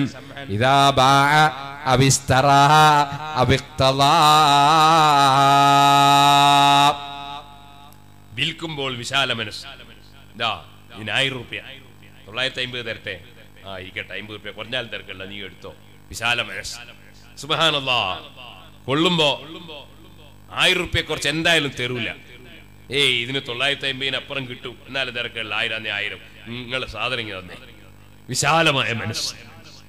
അതുപോലെ അവകാശം ചോദിക്കുമ്പോ അവകാശം ചോദിക്കുമ്പോ വിശാല മനസ്സ് കുറെ പൊരുത്തപ്പെട്ടു കൊടുക്കുക കുറെ വിട്ടുകൊടുക്കുക അങ്ങനെയുള്ള വിശാലമായ മനസ്സുള്ളവന് ദുന്യാവ് ഗുണകരമാണ്. അവന്റെ ദുന്യാവ് അപകടകരമല്ല. നേരെ മറിച്ച് എങ്ങനെയെങ്കിലും സമ്പാദിക്കണമെന്ന് ചിന്തിച്ചാലോ കടിക്കുന്ന വിഷമാണ് ശവമാണ് പ്രശ്നമാണ്. ഒരു ചെറിയ ചരിത്രം പറഞ്ഞ് ഞാൻ എന്റെ പ്രസംഗം നിർത്തട്ടെ. മഹാനായ നബിയുല്ലാഹി ഈസാ അലൈഹിസ്സലാം. ഇന്ന് ബിസിനസ് നടത്തുന്ന പലരും ഹലാൽ ഹറാമ് ചിന്തിക്കുന്നില്ല. സ്വത്ത് വാങ്ങുകയാണ് കൈവശം വാങ്ങിയിട്ടില്ല. ഒരു സാധു മനുഷ്യൻ പത്ത് സെന്റ് ഭൂമി വീടുണ്ടാക്കാൻ വേണ്ടി വാങ്ങാൻ ഉദ്ദേശിച്ചു. അത് ഈ പണക്കാരൻ അറിഞ്ഞു. അവൻ പിന്നാലെ പോയി ആ പത്ത് സെന്റ് ഭൂമി അവനിങ്ങ് വാങ്ങിച്ചു. വാങ്ങിച്ചതിന് ശേഷം കൊടുത്തത് അഡ്വാൻസ് ഒരു ആയിരം രൂപ. സുബാനല്ലാ പിന്നെ അവൻ എന്താ പറയുന്നത് ഞാനിത് വിൽക്കാൻ എടുത്തതാ. സ്വന്തം ആവശ്യത്തിനല്ല നേരത്തെ വീടുണ്ടാക്കാൻ ഉദ്ദേശിച്ച പത്ത് സെന്റ് വാങ്ങാൻ ഉദ്ദേശിച്ച ചെറുപ്പക്കാരൻ ഇവനെ സമീപിക്കേണ്ടി വന്നു. അവനപ്പോഴതാ പത്ത് ലക്ഷം കൂടുതൽ ചോദിക്കുകയാണ്. സുബാനല്ലാ ഈ കച്ചവടം തെറ്റാണേ മോമിനീങ്ങളെ. ഈ കച്ചവടം തെറ്റാണേ. കാരണം ഒരു സ്വത്ത് വാങ്ങിയാൽ ആ സ്വത്ത് കൈവശം വാങ്ങുന്നതിന് മുമ്പ് വിൽക്കാൻ പാടില്ല. കൈവശം വിട്ട് വാങ്ങാതെ വിൽക്കാൻ പാടില്ല. അഡ്വാൻസ് കൊടുത്തിട്ട് അതാ സ്വത്ത് അവന്റേതാക്കി മാറ്റിയിട്ട് മറിച്ച് വിറ്റ് കാശുണ്ടാക്കുന്ന ഏർപ്പാട് ഹലാലല്ല. വേറെ ചിലരുണ്ട്. നിന്റെ കൈവശത്തിൽ ഒരു ലക്ഷം ഉറുപ്പ്യ ഉണ്ടോ? മാസത്തിൽ അയ്യായിരം തരാം. അതിങ്ങ് തന്നെ ഞാൻ ബിസിനസ്സിൽ ഇടുകയാണ്. ഹറാമാണേ. കാരണം കച്ചവടത്തിൽ ലാഭവും നഷ്ടവും വരാൻ സാധ്യതയില്ലേ? പിന്നെ ഇവരെങ്ങനെ അയ്യായിരം മാസത്തിൽ ലാഭം തരൂ എന്ന് പറയുന്നത്? അപ്പോൾ അത് കച്ചവടമല്ല. അത് ഏകദേശം പലിശയോടനുബന്ധമായ ഒരു പരിപാടിയാണ്. ഇവിടെ നിങ്ങൾ മനസ്സിലാക്കണം കച്ചവടത്തിൽ കൂറ് കൂടുകയാണോ? എന്നാൽ ലാഭമാണെങ്കിൽ ലാഭത്തിൽ കൂറ് നഷ്ടമാണെങ്കിൽ നഷ്ടത്തിൽ കൂറ്. അങ്ങനെയല്ലേ കച്ചവടം? നേരെ മറിച്ച് ഒരു ലക്ഷം ഇങ്ങ് തന്നാൽ അയ്യായിരം മാസത്തിൽ ലാഭം തരുമെന്ന് പറയുമ്പോ അത് ഹലാലാണെന്ന് ധരിക്കണ്ട. അനുവദനീയമല്ല. അപ്പൊ നമ്മൾ എന്ത് വേണം? നമ്മളൊരു ബിസിനസ് നടത്തുമ്പോ വിവരമുള്ളവരെ സമീപിക്കണം. ഹലാലാണോ ഹറാമാണോ എന്ന് ചോദിക്കണം. ഹറാമാണോ വേണ്ടെന്ന് ചിന്തിക്കണം. നബി സല്ലല്ലാഹു അലൈഹി വസല്ലം നിങ്ങൾ പറഞ്ഞിട്ടുണ്ട് ഒരു കാലഘട്ടം വരും. ലായുബാലിൽ മറു മനുഷ്യൻ ആലോചിക്കൂല. വില വെക്കൂല അമിനൽ ഹലാലി അമിനൽ ഹറാം. ഹറാമിലൂടെയാണോ സമ്പാദിക്കുന്നത്? ഹലാലിലൂടെയാണോ സമ്പാദിക്കുന്നത്? വിവേചനമില്ലാതെ സമ്പാദിക്കുന്ന കാലം വരുമെന്ന് മഹാനായ അസ്റഫുൽ ഖൽഖ് മുഹമ്മദുർ റസൂലുള്ളാഹി സല്ലല്ലാഹു അലൈഹി വസല്ലം പറഞ്ഞിട്ടുണ്ട്. നിയ്യത്ത് നന്നായാ പോരാ. നിയ്യത്ത് നന്നായ പോരാ. ഒരു ഉദാഹരണം പറയാ. വേദ കിടക്കാണ് വേദ കിടക്കുമ്പോ ലേലം ചെയ്യാണ് ലേലം ചെയ്യാണ് ലേലം ചെയ്യുന്നത് എങ്ങനെ? ഇതാ ഒരു സാധനം എടുത്ത് ഇവിടെ എന്താ പറയാൻ അറിയില്ല ഈ പെണ്ണ് ലേലം ചെയ്യുന്നു. നൂറ് റുപ്യ. വേറൊരാൾ നൂറ്റമ്പത് റുപ്യ. വേറൊരാൾ ഇരുന്നൂറ് റുപ്യ. കുഴപ്പമൊന്നുമില്ല. പക്ഷേ പക്ഷേ ലേലത്തിൽ പങ്കെടുത്ത് വില പറയുന്നവൻ വില പറയുന്നത് എന്തിനായിരിക്കണം? അവന് സാധനം വാങ്ങാൻ വേണ്ടിയായിരിക്കണം. ചിലര് വില പറയുന്നത് എന്തിനാ? വില പറഞ്ഞ് കൂട്ടിയിട്ട് മറ്റവന്റെ തലയിലിടാൻ വില പറഞ്ഞ് കൂട്ടി കൊണ്ടുവന്നിട്ട് വേറൊരാളെ തലയിൽ മറിക്കാൻ. അങ്ങനെയാണെങ്കിൽ വില പറയൽ ഹറാമാണേ. വില പറയുന്നത് അവനവന് എടുക്കാൻ വേണ്ടിയാകണം. അല്ലെങ്കിൽ വില പറയുന്നത് ഹറാമാണ്. ഇതുപോലെ ഞാൻ ഒരു സ്വത്ത് കണ്ടുവച്ചു. ഞാനത് പത്തു ലക്ഷം രൂപക്ക് വാങ്ങാൻ ഉദ്ദേശിച്ചു. അങ്ങനെ അതിന്റെ ഉടമസ്ഥനെ കണ്ട് സംസാരിച്ചു. അയാൾ ഒമ്പതര ലക്ഷത്തിന് എനിക്ക് വിറ്റു. ഞാനത് കൊണ്ടു ഞാൻ വാങ്ങി ഞാൻ വിറ്റു ഞാൻ കൊണ്ടു എന്നൊക്കെ പറഞ്ഞു. അങ്ങനെ ഒമ്പതര ലക്ഷത്തിന് ഞാൻ കച്ചവടം ചെയ്ത വിവരം വേറൊരാൾ അറിഞ്ഞു അയാൾ നേരെ ചെല്ലുകയാണ്. പതിനൊന്ന് ലക്ഷം ഞാൻ തരാം. വില പറയൽ ഹറാമാണ്. വാങ്ങൽ ഹറാമാണ്.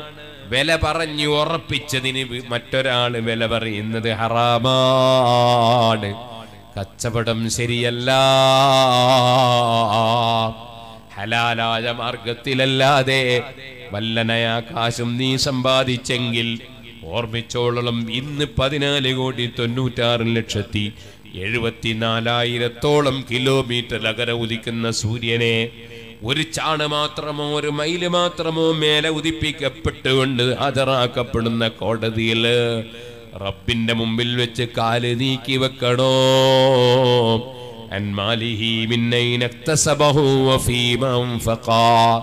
നിന്റെ സമ്പത്ത് നീ എങ്ങനെ സമ്പാദിച്ചു?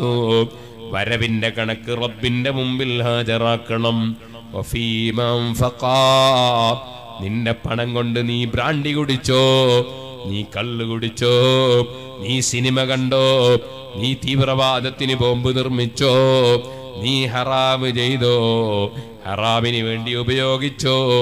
നീ അന്യ പെണ്ണിന് ഫോണ് വാങ്ങിച്ചു കൊടുത്തോ. നിന്റെ ഫോണ് വാങ്ങി അന്യ പെണ്ണിനെ വിളിച്ചോ. നീ അതാ അന്യ ഹറാമായ കാര്യം ചെയ്യാൻ വേണ്ടി നീ പണം കൊടുത്തോ. നീ പണം ചെലവഴിച്ചോ. ചെലവിന്റെ കണക്ക് റബ്ബിന്റെ മുമ്പിൽ ഹാജരാക്കാതെ കാൽ നീങ്ങൂല. നീക്കി വെക്കാൻ കഴിയൂല. ഹലാലിലൂടെ ജീവിച്ചോ. ഹറാമ് കൈയൊഴിച്ചു. റബ്ബിനോട് പ്രാർത്ഥിച്ചു. ഹറാബിക് പടച്ച റബ്ബേ ഹറാബിൽ നിന്ന് ഹലാൽ കൊണ്ട് ഐശ്വര്യം തരണേ.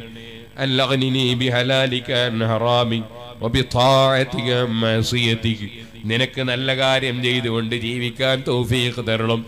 തെറ്റിൽ നിന്ന് മാറി നിൽക്കാൻ ഭാഗ്യം തരണം. അതേ വാഗ്നിനി ബിഫദ്ലിക അമ്മൻ സിവാക് മറ്റൊരാളോട് യാചിക്കാതെ വേറെ ഒരാളെ മുനാശിക്കാതെ റബ്ബേ നിന്നെ കൊണ്ട് എനിക്ക് ഐശ്വര്യം തരണേ. പ്രാർത്ഥിക്കാനല്ലേ പഠിപ്പിച്ചത്? ഹറാമ് കലരാതെ ജീവിക്കണം. ഹറാമ് വന്നാലോ? ഹബീബായ നബിതങ്ങൾ പറയാണ് അതേ മാനബത്തമിനൽ ഹറാമി ഫന്നാറു ഔലാബി മാനബത്തമിനൽ ഹറാമി ഫന്നാറു ഔലാബിഹി ഹറാമിലൂടെ ഉണ്ടായ മാംസം അത് നരകം കൊണ്ട് ബന്ധപ്പെട്ടതാണ്. നീ മുതലാളിയുടേത് കട്ടുകൊണ്ടുവന്നാലും നീ തൊഴിലാളിയെ വഞ്ചിച്ച് അവന്റെ വേതനം കൊടുക്കാതെ സമ്പാദിച്ചാലും നീ ഹറാമിലൂടെ ഉണ്ടാക്കിയാൽ അതിനാൽ വളരുന്ന നിന്റെ സെല്ലുകൾ നിന്റെ ശരീരത്തിന്റെ മാംസങ്ങൾ നിന്റെ ഭാര്യയുടെ മാംസങ്ങൾ നിന്റെ ഉമ്മബാപ്പയുടെ ശരീരങ്ങൾ നിന്റെ പിഞ്ചുമക്കളെ ശരീരങ്ങൾ നീ നരകത്തിലെത്തിക്കുകയാണ്. നീ പ്രിയം വെക്കുന്ന ഭാര്യയെ നീ സ്നേഹിക്കുന്ന പിഞ്ചുമക്കളെ നീ എന്തിന് ഹറാമ് തീറ്റിച്ചിട്ട് നരകത്തിലെത്തിക്കണം സുഹൃത്തേ? ആ പിഞ്ചുമക്കൾ നിന്നോടൊരു തെറ്റും ചെയ്തിട്ടില്ലല്ലോ. നിന്റെ ഭാര്യയും ബാപ്പയും ഉമ്മയും ഒരു തെറ്റും ചെയ്തിട്ടില്ലല്ലോ. അവരെ എന്തിന് നീ ഹറാവിലേക്ക് കൊണ്ടുപോകണം? അതുകൊണ്ടോ ചെറുപ്പക്കാരെ എനിക്ക് ഹറാമ് വേണ്ടെന്നുറപ്പിക്കണം. ഹലാലിലൂടെ മാത്രമേ സമ്പാദിക്കൂ എന്നുറപ്പിക്കണം. ഞാൻ നിങ്ങളോട് പറയട്ടെ? കൊടുക്കുന്ന രാജാവ് അല്ലോ അവൻ തീരുമാനിച്ചതാർക്കും തടയാൻ സാധ്യമല്ല. അവൻ തീരുമാനിക്കാത്തത് വാങ്ങിത്തരാൻ ഒരു കാരണം കൊണ്ടും സാധ്യവുമല്ല.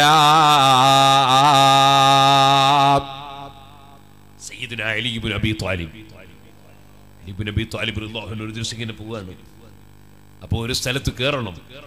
തന്റെ കുതിരയെ ചെറുപ്പക്കാരനെ വിളിച്ചിട്ട് പറഞ്ഞു മോനെ ഈ കുതിരനൊന്ന് നോക്കണം ഞാൻ വേഗം വരും. പറഞ്ഞ സമയം കൊണ്ട് വരും. കുതിരന്റെ കടിഞ്ഞാണ് അദ്ദേഹത്തെ ഏൽപ്പിച്ച് അലി റളിയല്ലാഹു പോയി. പോയിട്ട് മടങ്ങി വരുമ്പോ അലി റളിയല്ലാഹു മനസ്സിലാക്കി ആ കടിഞ്ഞാണ് പിടിച്ച് നിന്ന ആൾക്ക് എന്തെങ്കിലും ഒരു ഹരിയ കൊടുക്കണം സന്തോഷത്തിന് പൊരുത്തത്തിനും കൊടുക്കണം. രണ്ട് ദീർഘം എടുത്തു. രണ്ട് ദീനാറ് അല്ലെ ദീർഘം രണ്ട് ഉറുപ്പിക എടുത്തു. എടുത്തിട്ട് വെള്ളിയുടെ അല്ലെ സ്വർണത്തിന്റെ ഉറുപ്പിക എടുത്ത് കൈ പിടിച്ച് കൊടുക്കാൻ വേണ്ടി വന്നു നോക്കുമ്പോ കുതിര അവിടെ ഉണ്ട്. കുതിരയെ നോക്കാൻ ഏൽപ്പിച്ച ചങ്ങാതി കുതിരയുടെ കടിഞ്ഞാണും കാട്ടിട്ട് പോയി കളഞ്ഞു. കാട്ടിട്ട് പോയി കളഞ്ഞു. യഥാർത്ഥ കുതിര അവിടെ ഉണ്ട്. അതിനേക്കാളും വലിയ കുതിരയായി പോയി ഇവൻ. ഹലീബ് നബി താലിബ് തങ്ങളെ ബഹുമാനം. ഈ ഒറിജിനൽ കുതിരക്കറിയാ. ഈ മനുഷ്യ കുതിരക്ക അറിഞ്ഞുകൂടാത്തത്. അവൻ കാട്ടിട്ടാ പോയത്. റതിയല്ലാഹല്ലു ആ വകയിൽ മനസ്സിന് വിഷമവും തോന്നിയില്ല. കാരണം ഒരുത്തൻ കട്ട കൊണ്ട് നമ്മൾ പരാജയപ്പെടുമെന്നില്ല നമുക്ക് അള്ളാഹുവിന്റെ അടുക്ക കൂലിയിട്ടു. അലി റതിയല്ലാഹന്നു അടിമയെ വിളിച്ചിട്ട് ആ രണ്ട് ദീനാറല്ലേ രണ്ട് ദിർഹം കൊടുത്തിട്ട് പറഞ്ഞു മോനെ അങ്ങാടി പോയിട്ട് കിളി. കടിഞ്ഞാട് വാങ്ങിക്കൊണ്ടു കടിഞ്ഞാട് വാങ്ങാൻ വേണ്ടി അടിമ ചെന്ന് നോക്കുമ്പോ ഈ കട്ടുപോയ മനുഷ്യൻ അങ്ങാടിയിൽ കടിഞ്ഞാട് വിൽക്കാൻ നിൽക്കുന്നുണ്ട്. കട്ടുകൊണ്ടുപോയ കടിഞ്ഞാട് വിൽക്കാൻ നിൽക്കുന്നത് നിന്റെ കടിഞ്ഞാട് വിൽക്കുക വെച്ച് വിൽക്കുവന് എത്ര റുപ്യ? രണ്ട് റുപ്യ. ഈ രണ്ട് റുപ്യ കൊടുത്തിട്ട് വാങ്ങി. കടിഞ്ഞാട് കൊണ്ടുവന്ന് അലീറുല്ലാഹിന് കൊടുത്തു. അലീറുല്ലാഹിന്റെ പറഞ്ഞു മനുഷ്യന്മാരെ കഥ നോക്ക് നിങ്ങൾ അള്ളാഹു കണക്കാക്കിയതേ കിട്ടൂ. ഞാൻ അയാൾക്ക് നല്ല പൊരുത്തത്തോടെ ഹലാലായ നിലയ്ക്ക് രണ്ട് ദിർഹം കൊടുക്കാൻ വേണ്ടി കയ്യിലെടുത്ത് പിടിച്ച് വന്നതാ. പക്ഷെ അയാൾക്ക് അത് ഹറാമായ നിലയ്ക്ക് എന്നെ കിട്ടണമെന്ന് നിർബന്ധം. ഞാൻ ആ രണ്ടെന്തായാലും കൊടുക്കുമായിരുന്നു. പക്ഷെ അയാൾക്ക് ഹറാമായ നിലയ്ക്ക് എന്നെ കിട്ടണമെന്ന് നിർബന്ധം. സുബാനല്ലാ അള്ളാഹ് നിശ്ചയിച്ചതേ കിട്ടൂ. ഹലാലായ നിലയ്ക്ക് റബ്ബ് നിശ്ചയിച്ചത് കിട്ടുമെന്ന ഉറച്ച വിശ്വാസത്തിൽ മുന്നേറണം. ഹറാമുമായി ബന്ധപ്പെടരുത്. ഞാനൊരു ചെറിയ ചരിത്രം പറഞ്ഞു നിർത്തട്ടെ. എന്റെ ചെറുപ്പക്കാരെഴുന്നേറ്റ് നിൽക്കണം. ദൂരെ നിൽക്കുന്നവർ സദസ്സിലേക്ക് വരണം. നബിയുല്ലാഹി ഈസാ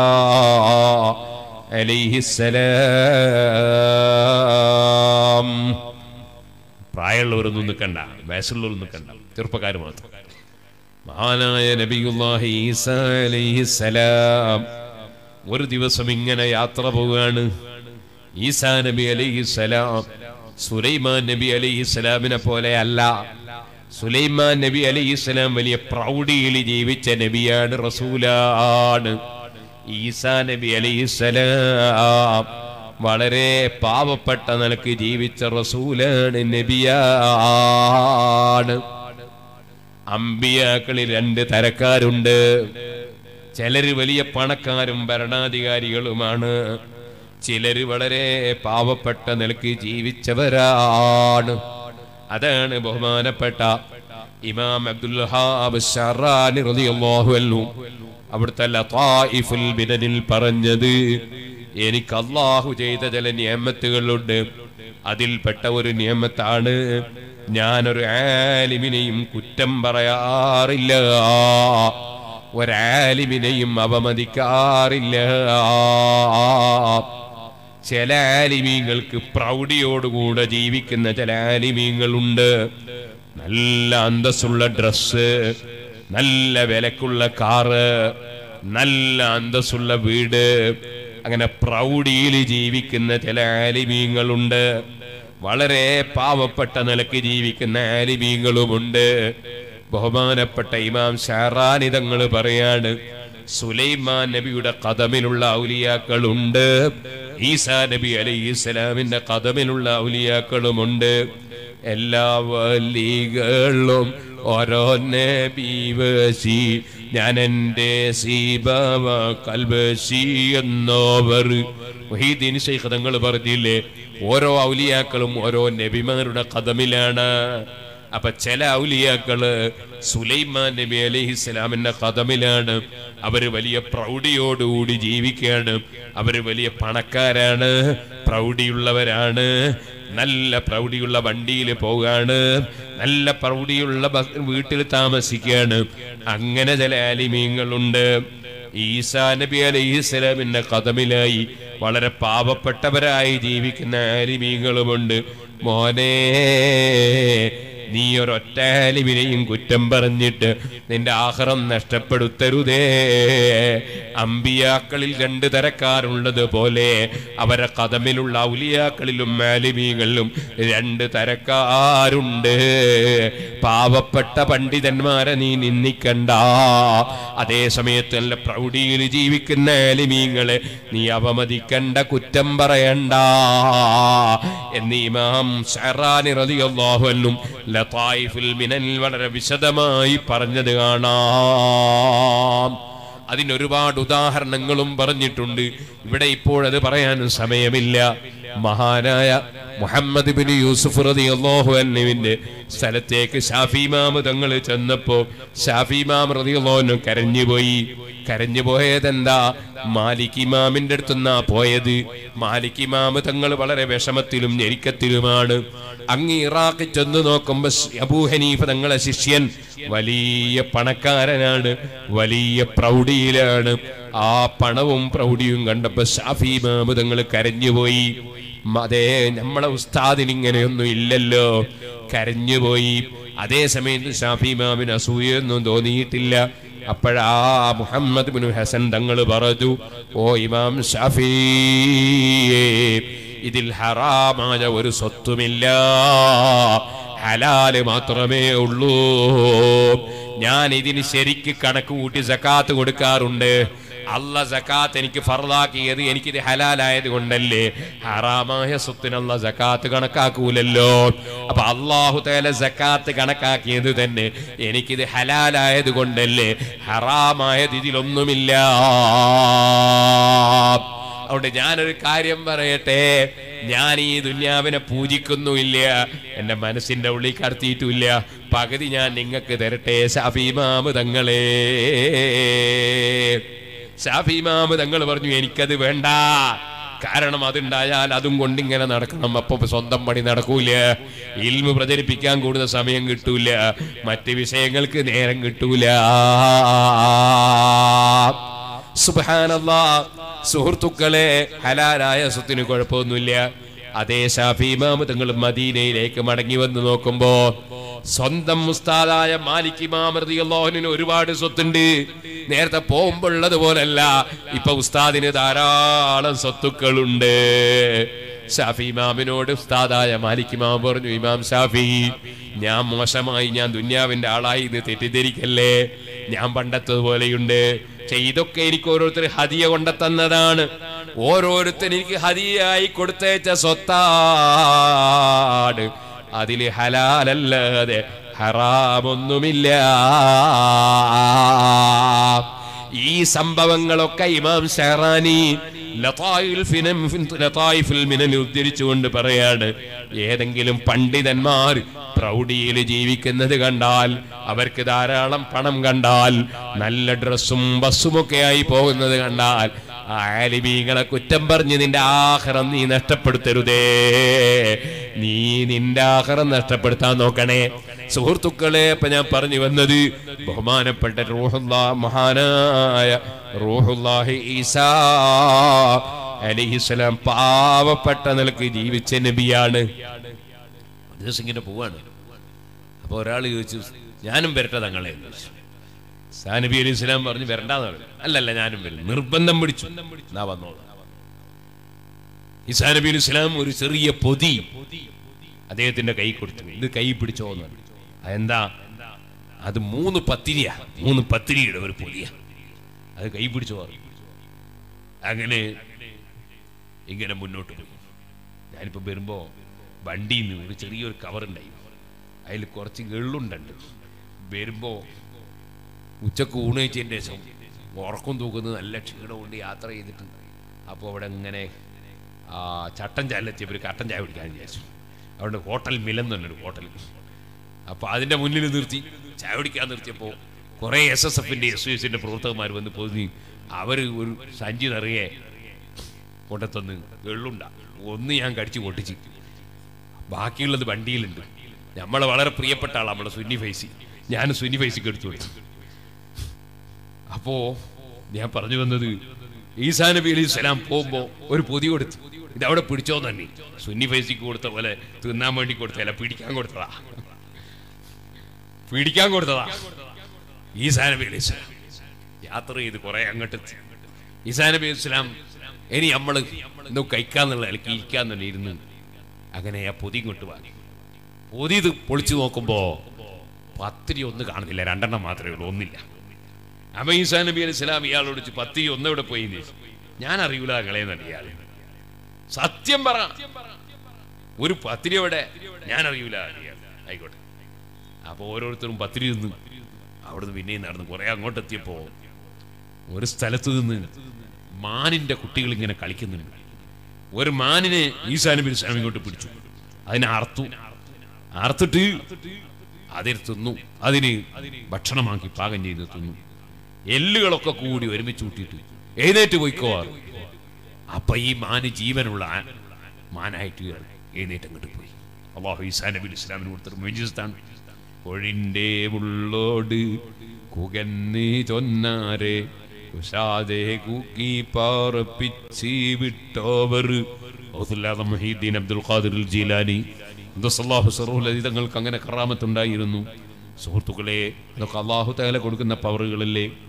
ഈസാ നബി ഇത് കാണിച്ചു കൊടുത്തിട്ട് പറഞ്ഞു മോനെ എന്നോട് സത്യം പറഞ്ഞു. അള്ളാഹു എനിക്ക് തന്ന കഴിവ് കണ്ടു നീ? എന്നോട് സത്യം പറഞ്ഞു. നമ്മളെ പത്തിരി കട്ടതാരാ ഇവർ തങ്ങളെ ഞാൻ എടുത്തിട്ടില്ല അപ്പൊ പിന്നെയും കുറെ മുന്നോട്ട് പോയി. ഈസാ നബി അലൈഹി ഒരു പുഴ കടക്കാനുണ്ട്. ആ പുഴ കടക്കാൻ നോക്കുമ്പോൾ പാലമില്ല തോണിയില്ല ഒന്നും ബോട്ടില്ല ഒന്നുമില്ല ഈസാ നബി സ്വലം പറഞ്ഞു എന്റെ കൈ പിടിച്ചു. പോയി കൈ പിടിച്ച് വെള്ളത്തിന് മേലെ കൂടി നടന്നങ്ങ് അക്കരെത്തി. ഈസാ നബി സ്വലം പറഞ്ഞു അള്ളാഹു എനിക്ക് തന്ന കഴിവ് കണ്ടോ? എന്നോട് സത്യം പറഞ്ഞു നമ്മളെ പത്തിരി കെട്ടാരാ ഇവൻ ഞാൻ കണ്ടിട്ടില്ല ഇവൻ പിന്നെയും കളു തന്നെ. പിന്നെയും കുറെ മുന്നോട്ട് പോയി. ഈസാ നബി അലൈഹി സ്വലാത്തു ഒരു മരുഭൂമിയിലെത്തി. കുറച്ച് മണൽ പൂഴി ഇങ്ങനെ ഒരുമിച്ച് കൂട്ടി കൈകൊണ്ട് ഇങ്ങനെ കളിച്ചുകൊണ്ടിരിക്കുമ്പോൾ മുഴുവനും പൊന്നായി പോയി. പൂഴി മുഴുവനും പൊന്നായി. ഈസാ നബി ഇസ്ലാം അത് മൂന്ന് ഓഹരി വെച്ച്. ഒരു ഓഹരി രണ്ട് ഓഹരി മൂന്ന് ഓഹരി. പറഞ്ഞു ഒരു ഓഹരി എനിക്കാണ്. ഒരു ഓഹരി നിനക്കാണ്. മൂന്നാമത്തെ ഓഹരി പത്തിരി കട്ട കള്ളനിക്കാണ്. ഇവൻ പറഞ്ഞു ഞാൻ തന്നെയാ കട്ടത്. സുബാനല്ലാ ഇതുവരെ ഇവൻ കളവ് പറഞ്ഞു. പണത്തോടുള്ള ഒരു ഈ താല്പര്യം നോക്ക് മനുഷ്യന്റെ. പണം കിട്ടുമെന്ന് കണ്ടപ്പോ ഇവൻ പറഞ്ഞു കട്ടത് ഞാൻ തന്നെ. അലൈഹി മൂന്ന് കൂമലും ഒരുമിച്ച് കൂട്ടി തട്ടിയിട്ട് പറഞ്ഞു നീ എടുത്തടാ. എനിക്ക് വേണ്ട ഈസാ നബി അലൈഹി സ്വലാത്തു വസ്സലാം പോവുകയാണ് وراودته الجبال من ذهب عن نفسه فراها أيما سممي مولاي صل وسلم دائما أبدا على حبيبك خير الخلق كلهم നബിതങ്ങൾ പട്ടിണി കിടന്ന് ജീവിച്ചിട്ടുണ്ട് പക്ഷേ പണം കിട്ടാഞ്ഞിട്ടല്ല കിട്ടാഞ്ഞിട്ടല്ല പർവ്വതം തന്നെ സ്വർണമായി തരാമെന്ന് പറഞ്ഞപ്പോ വേണ്ടെന്ന് വെച്ചതല്ലേ ഈസാ നബി അലൈഹി സ്വലാമിന് വേണമെങ്കിൽ അതേ അമ്പിയാക്കൾ കള്ള കൊടുക്കുന്ന പവറല്ലേ? വേണമെങ്കിൽ കിട്ടിയേക്കും പക്ഷേ വേണ്ടെന്ന് വെക്കുകയാണ്. ഈസാ നബി അലൈഹി സ്വലാം പൊന്ന് തട്ടിയങ്ങിട്ട് നീ എടുത്തോ എന്ന് പറഞ്ഞ് പോയി. അവനാ പൊന്നിന്റെ സമീപത്ത് ഇങ്ങനെ ഇരിക്കുകയാണ് അപ്പോഴങ്ങുന്നതാ രണ്ടാളുകൾ രണ്ടാളുകൾ ദൂരെ നിന്ന് വരുന്ന നല്ല ആരോഗ്യമുള്ള രണ്ടാളുകളാണ്. അവരിങ്ങനെ ദൂരെ നിന്ന് കാണുന്നത് ഒരു വലിയ കൂമന് സ്വർണമാണ്. അവിടെ ഒരാൾ ഇരുന്നിട്ടുണ്ട്. അവർ രണ്ടാളും മനസ്സിൽ പ്ലാൻ ചെയ്തു. അവനെ നമുക്കങ്ങ് കൊന്നുകളയണം എന്നാ നമ്മക്ക് പൊന്ന് തീർത്തു എടുത്തിട്ട് പോകാൻ പറ്റും. സുബാനല്ലാ ഇവർ രണ്ടാളുടെയും വരവ് കണ്ടപ്പോ എന്റെ ശരീരത്തിന് കേടുവരുമെന്ന് അവന് തോന്നി. അവനോടെ തന്നെ അങ്ങോട്ട് പഞ്ചായത്ത് പറയാണ് കോംപ്രമൈസും പറയാണ്. നിങ്ങൾ എന്നെ ഒന്നും ചെയ്യണ്ട. നമുക്ക് മൂന്നോഹരി വെക്ക. ഓരോഹരി എനിക്കും രണ്ടോഹരി നിങ്ങൾക്കും. നമ്മൾ എല്ലാരും സന്തോഷത്തിൽ പോവാ. ഓ രണ്ടാളും അതിന് തയ്യാറായി. അങ്ങനെ കോംപ്രമൈസിനായി കൊല്ലുന്നത് ഒഴിവായി. അങ്ങനെ രണ്ടാളും മൂന്നാളും അവിടെ ഇരിക്കുമ്പോ നമുക്ക് എന്തെങ്കിലും വെള്ളം കുടിക്കണം. അല്ലെങ്കിൽ ഭക്ഷണം കഴിക്കണം. അതിനാരാണ് അങ്ങാടിയിൽ പോയി ഭക്ഷണം വാങ്ങുക? ഒരാൾ അതിന് പോയി രണ്ടാൾ അവിടെ തന്നെ ഇരുന്നു. ഇരുന്ന രണ്ടാളുകളും ഇരുന്നിങ്ങനെ ചിന്തിക്കുകയാണ് ദുന്യാവിനോട് അമിതമായ സ്നേഹമുണ്ടായാൽ വരുന്ന ഗതികേടാ പറയുന്നത്. ഇയാൾ രണ്ടാളും ചിന്തിക്കുകയാണ് എന്താ ചിന്തിച്ചത്? ഇതിപ്പം മൂന്നോഹരി വെച്ചാൽ ഒരു മുപ്പത് കിലോ ഉണ്ടെങ്കിൽ പൗപ്പത്ത് കിലോ സ്വർണമേ ഉണ്ടാവുള്ളൂ. അതുകൊണ്ട് നമുക്ക് രണ്ടോഹരി വെച്ചാൽ പതിനഞ്ച് കിലോ രണ്ടാക്ക് കിട്ടും. അതുകൊണ്ട് അദ്ദേഹം വെള്ളവും വാങ്ങി വന്നാൽ നമുക്ക് രണ്ടാക്കും കൂടി അയാളെ കൊന്നുകളയണം. എന്നാ തൂക്കം കുറെ കൂടുതൽ കിട്ടും. രണ്ടാളും പ്ലാൻ ചെയ്തു. ഈ വെള്ളം വാങ്ങാൻ വേണ്ടി പോയ ആളോ അയാൾ അവിടെ എത്തിയിട്ട് ചിന്തിച്ചു എന്താ ചിന്തിച്ചത്? ഞാനിങ്ങനെ ഇവർക്ക് വെള്ളവും ഭക്ഷണവും വാങ്ങി കൊടുക്കേണ്ട ആവശ്യം എന്താണ്? ഞാനും അവരെ പോലെയല്ലേ അവരവിടെ നിങ്ങൾ കസേരമേൽ ഇരുന്നിട്ട് ഞാൻ വാങ്ങിച്ചു കൊണ്ടു കൊടുക്കേണ്ട ആവശ്യമുണ്ടോ? അതുകൊണ്ട് ഞാൻ കൊണ്ടുപോകുന്ന ഭക്ഷണത്തിൽ വിഷം ചേർത്ത് കൊണ്ടുപോകണം വെള്ളത്തിൽ വിഷം ചേർക്കണം. വിഷം ചേർത്ത വെള്ളം കുടിച്ചാൽ രണ്ടാളും അവിടെ ചത്തുപോകും. അപ്പൊ സ്വർണം തീർത്തു എടുത്തിട്ട് എനിക്കങ്ങ് പോകാം. പോയ ചങ്ങാതി വെള്ളത്തിൽ വിഷം ചേർത്തു. വിഷം ചേർത്ത വെള്ളവുമായി അവൻ വന്നപ്പോ രണ്ടാളുകളും തീരുമാനിച്ചതനുസരിച്ച് ദുന്യാവിനോടുള്ള അമിതമായ സ്നേഹം കൊണ്ട് ആ മനുഷ്യനെ വെട്ടിയങ്ങ് കൊന്നു. കൊന്നിട്ട് എന്തിനാണ്? രണ്ടാൾക്കും സ്വർണം അവരവർക്ക് തന്നെ എടുക്കാനാണ്. കൊന്നതിന് ശേഷം ഇവർ രണ്ടാളും പറഞ്ഞു ഏതായാലും വെള്ളം കുടിച്ചു പോകാം. ഇവൻ കൊണ്ടുവന്ന് വെച്ച വെള്ളം രണ്ടാളും എടുത്ത് കുടിച്ചോ. ആ വിഷം കുടിച്ചിട്ട് രണ്ടുപേരും അവിടെ മലർന്നങ്ങ് വീണു. മൂന്ന് മയ്യത്താട്. ഒരു കൂപന് സ്വർണമാണ്. ഈസാ നബി അലി ഇസ്ലാം പോയ സ്ഥലത്ത് നിന്ന് തിരിച്ചു വരികയാണ്. വരുന്ന സമയത്ത് കാണുന്നത് എന്താണ് ഒരു കൂമൽ സ്വർണമാണ്. മൂന്ന് മയ്യത്താണ് ഈസാ നബി അലൈഹി ഇസ്ലാം പറഞ്ഞു ദുന്യാവിന്റെ അവസ്ഥ ഇങ്ങനെയാണ്. ഹറാബും ഹലാലും ഇല്ലാതെ ചിന്തിക്കുന്നവന് എങ്ങനെയെങ്കിലും കിട്ടണമെന്ന് വിചാരിക്കുന്നവന് അത് അവന്റെ നാശത്തിന് കാരണമാണ്. ഓ സുഹൃത്തുക്കളെ കൊടുക്കുന്ന രാജാവിലേക്ക് കൽബ് തിരിച്ച് ഹലാലായത് മാത്രം മതിയെന്ന് ചിന്തിച്ച് ജീവിച്ച് മരിക്കണേ. ആരോടെങ്കിലും കടം വാങ്ങിയിട്ടുണ്ടോ? കൃത്യമായി കൊടുക്കണേ. കൊടുക്കാൻ കഴിഞ്ഞില്ലെങ്കിൽ പൊരുത്തപ്പെടിക്കണേ കഴിയുമ്പോ കൊടുക്കണേ. കടം വാങ്ങിയിട്ട് കൊടുക്കാത്തവൻ അവനെ അവന്റെ അദ്ദേഹത്തിന്റെ മയ്യത്ത് കൊണ്ട് വന്ന് വെച്ചപ്പോ നബി സല്ലല്ലാഹു അലൈഹി വസല്ലം നിസ്കരിച്ചില്ല. കടത്തോടെ മരിച്ചവന് ഞാൻ നിസ്കരിക്കുന്നില്ലെന്ന് പറഞ്ഞ് മാറി നിന്നു. മുഹമ്മദുർ റസൂലുള്ളാഹി. അതുകൊണ്ട് കടം വാങ്ങിയാൽ കൊടുക്കണമെന്ന ബോധമുണ്ടാകണം. പണം നമ്മൾ ആഹ്റം നഷ്ടപ്പെടുത്തരുത്. അള്ളാഹുവേ ഞങ്ങളെ കടത്തോടെ മരിപ്പിക്കരുത്. അല്ലാ.